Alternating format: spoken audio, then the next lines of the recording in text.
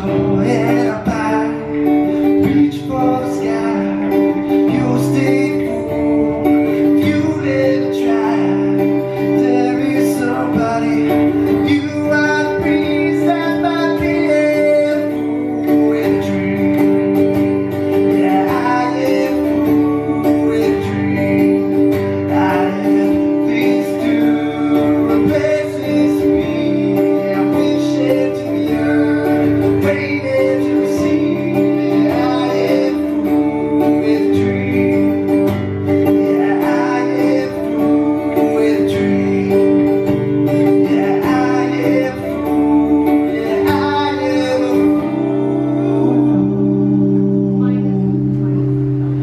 I will always be with a dream.